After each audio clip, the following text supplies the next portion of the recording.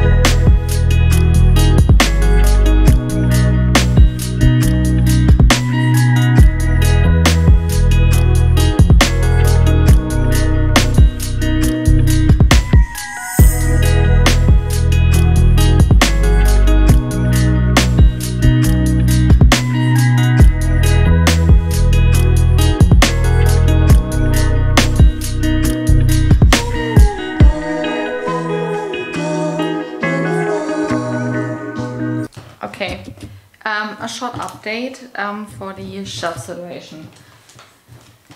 You saw it. Can you see it? Wait. I feel like in a presentation, but we are working. So these middle parts here, um, wait, I go. So these middle parts here, I can't remove them. It's the structure of the bookshelf, or the shelves. So I calculated, so they are all now, the top ones are all now far away like the other ones, like the same distance. I calculated with my measurement, okay? The problem is now with my um, with my shelves that I bought, so I have more room, is that my space is very limited. So I try to uh, arrange them in the same height range that I need to. The thing is, they will only fit now small paper bags. Like small, small paper bags. My normal paper, like here in Germany we have different types of book. We have hard covers, paperbacks, and we have um, a different paperback that is a little bit smaller than the paperback version that you know. Like we have two different versions of paperbacks. One is like a little bit smaller, one is bigger. It's the same height um, as a hardcover. So yeah, so this one and this one can only fit small paperbacks. And my biggest issue is here now that I don't think that I have enough paperbacks that will fit into these two. Like when I do this for the other shops too, I don't think that I will have the same amount of paperbacks for everything. And this is pissing me off because if I could rearrange the middle part, there would be no problem, but I can't because it's the structure. Hmm. My next thing is that I could drill new holes in it so I can place it in this these holes. So they will be far away. But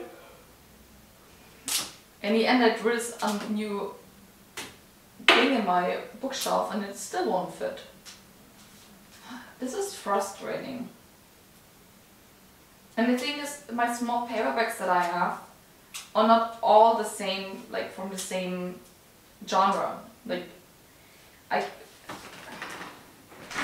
my the paperbacks version will fit into it.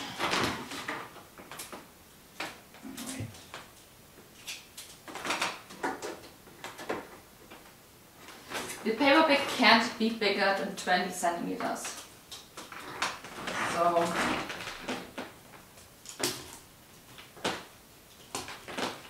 I could fit I think my my Cassie books in there, but also not all of them.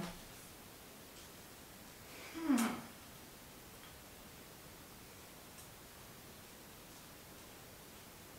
I'm pissed. Well, okay. So my plan is for now to arrange this, that this has also the same height difference and then we we see we will see we will see. Go,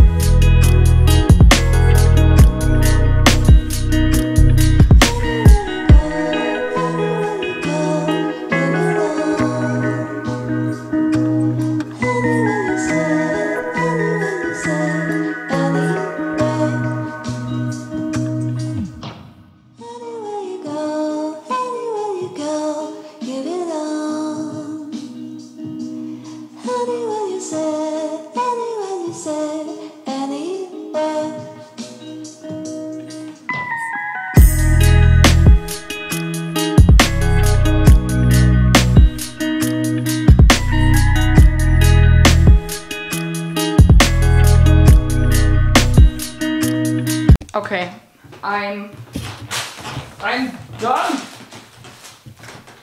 Quick bookshelf tour. This is really quick, so buckle up, okay? Um, can you even see this? I know this looks ugly, but I have enough books on my bookshelf to fill these empty spaces. Because why not? This shelf here is my favorite shelf. Like these are my favorite books of all fucking time. So when you're seeing this, when I'm filming, and you're like, what is this arrangement? This is my favorite books. We have Heartstopper, Ice Planet Barbarians, Reminders of Him. All in the same row. I know that they don't, don't fit in the right genre, but I don't care. We have here my three Love of Titles um, editions. Yes, I have three. We have Emily Henry here, Talia Hibbert, The Brown Sister Trilogy, and Red, and Royal Blue. I will die for this book. The Requiem series, House of, um, House of Crescent City, Throne of Glass. Then we have The Ninth House by Bardugo. We have My Midra Chronicles from a German author, so I'm so sorry you can't read this. Except for you can read German, so um, why not? These Witches Don't Burn is also here, and the Harbinger series by Jennifer Armentrout. On the bottom we have here the Red, um, From Blood and Ash series by her, from Jennifer Armentrout. And on the bottom shelf we have my um, classics, my favorite classics, which is Pride and Prejudice and Emma by Jane Austen. On the top shelf we have here the fantasy books for my boyfriend, um, German book series, Game of Thrones and other ones, I don't know. Cassandra Clare, this is um, self-explanatory. We have here the ACOTAR series by Sarah J Maas. And why is this not on my favorite shelf? Because I didn't know what to display. So my favorite one is Across of Flames. I will die for Nesta. Yeah. Here we have fantasy books, um, mostly like fantasy who is in a world that is so far away from the actual world, like the Swing Kingdom, Urban Enchanted. Then we have historical fiction with She Who Became the Sun, um, of the Orange Tree, the City of Brass Daevabad Trilogy, The Way of Kings, because I don't know what the fuck to do with The Way of Kings. Then we have Abby here, and my special edition is on display my favorite fantasy series, um, I only placed it here and not there because, um, like I said, the book can be taller than 20 centimeters and the book was tinier. Then we have The Throne of Glass, the German versions, A Dark and Hollow Star, Dark Elements, Vampire Smut, Sherlock Holmes, Crime Smut, Smut, um, Fantasy, that I don't know what it plays. We have the Six of Crows, King of Scars, then we have the uh, Bring Me Their Souls, whatever. Um, the Serpent and Dove series. I'm currently reading Gods and Monsters by the way. Um, then we have the Lux series, the Orange Hand series, and the spin-off or sequel, I don't know. Then we have the historical romance. This shelf we have all my Jennifer Estep books. Fantasy, fantasy, fantasy. Ricky Boy, um, Red Queen series, the German edition. I will do a, better bookshelf tour on close, but to guess what is here. Then we have book from Josephine Angelini, What Dreams to Send, here fantasy for YA, YA fantasy, vampire books that are trash so I don't want to have them on display, but I want to keep them. Here on the shelves I have books from my boyfriend, books from my boyfriend, comics. My non-shelf, uh, non my non-fiction books are here. Here is poetry. I have exactly two books. Here is contemporary till here. Um, contemporary. Then we have the rest of my classics. Then we have thrillers. Then we come to the bottom shelves um, with romance, romance, historical romance, and on the bottom here, you can see it in the camera, um, is our books by people we don't talk about anymore, like the person who writes um, Harry Potter and Twilight. Um, yeah, they are toxic and we don't want to talk about them. So they're on the bottom like they belong to. So, and I unhauled some more books. Okay, hi. I'm currently in these sprints, um, like the live show that I told you. Um, that I'm currently, um, that I want to do this on this day. But we are currently sprinting, so I'll tell you the books that I unhauled. Um, this is really quick. So I decided to, first of all to unhaul Firelight. This is a trilogy um, fantasy YA. I only read the first book, never finished the rest of the series and I don't want to. This is why um, I'm getting rid of these. I'm getting rid of the German non-thriller book. Like I read it earlier this year. I didn't like it. I give it one star. So I will um, unhaul this. I get rid of um, Girl and Other, The Starless Sea, Vampire Smut, my boyfriend get rid of Good Ugly Person Resurrection. Um, so my boyfriend showed me this. He put it on it and helped me to get rid of it. Then I get rid of one series that I read um, when I was a teenager. I really liked it, but I don't think that I will ever read this again. Um, this is Sloppy Firsts, and then the follow books for this, and by Megan McGyver, Gaffery, Cafferty, yeah, McGyver. um, this book what I showed first on the on haul. Um, what's it called? I don't know. The statistical um, statistical stuff of love of the first sign. I don't know. Um, by Jennifer E. Smith. I like the book, but I get rid of it. Then we have here the um, Sleep, Dream and Wake series. I loved the book series when I was um, younger but I get rid of it. It's by Lisa McMann um, because I don't see me rereading this. I'm getting rid of the selection of the four books plus three books plus the sequels to it. A book about woman cycle, I get rid of that.